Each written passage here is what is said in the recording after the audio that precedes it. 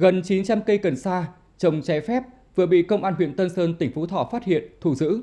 Điều đáng nói là ngoài việc trồng, chăm sóc, đối tượng còn lắp đặt thiết bị để phục vụ việc sấy khô, đóng gói trước khi tiêu thụ ra thị trường, nhằm hình thành một quy trình khép kín.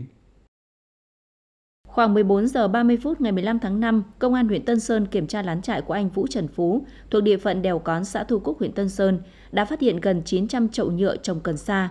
Trong đó có một số cây đã được thu hoạch, chỉ còn lại phần gốc. Kiểm tra tại khu vực chăn nuôi của lán trại, lực lượng công an tiếp tục phát hiện 900 gam nụ, cành hoa đang được sấy khô. Các đối tượng khai nhận trang trại do Vũ An sinh năm 1973 ở Hà Nội thuê lại từ cuối tháng 10 năm 2022 để trồng cây và chăn nuôi gia súc.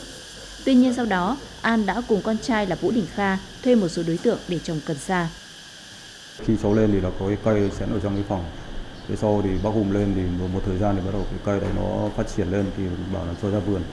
Cho ra vườn thì cháu đã được phân công là đổ phân vào trong cái bầu. Kết tỉa thì là cái phần của cháu thì là cứ kết xong thì cái bông thì là để để trên cái sạc. Còn cái lá kia thì cháu có trách nhiệm để mang đi để tung cho gà và cho ngõ ăn.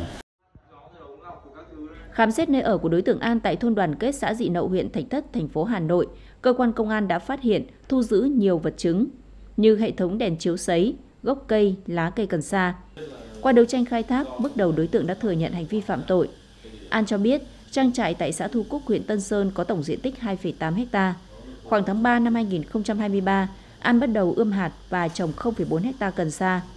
Sau khi thu hoạch, cần sa được chuyển về Thạch Thất Hà Nội bằng xe khách hoặc xe mô tô để sấy khô và đóng gói bán ra thị trường.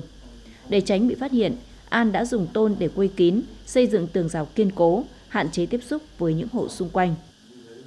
Số đối tượng này là lợi dụng là ở những khu vực là vùng núi có địa hình hiểm trở, khó khăn trong việc đi lại, thì ờ, dân cư thưa thớt, ờ, đường lối đi lại khó khăn. Nên là các đối tượng đã, đã, đã, đã lợi dụng cái việc trên để để thực hiện cái hoạt động là trồng cây cần sa trên địa bàn.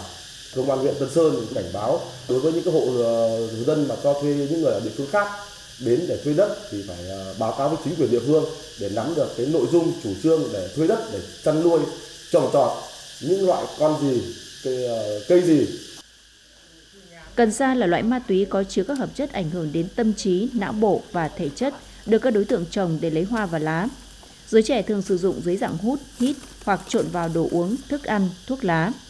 Trồng cần sa hay cây thuốc viện là hành vi bị cấm theo luật hình sự, bởi đây là nguyên liệu đầu vào quan trọng bậc nhất cho việc sản xuất ma túy.